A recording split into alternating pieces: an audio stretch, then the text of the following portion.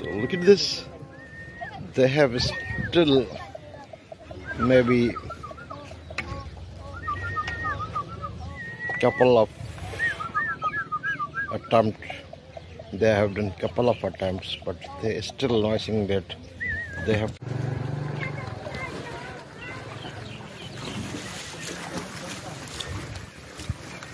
Look at his noising that they have conditions of mating or not. So this is a common in male buffaloes that have the noising and they just like when dog hauling same as they're doing same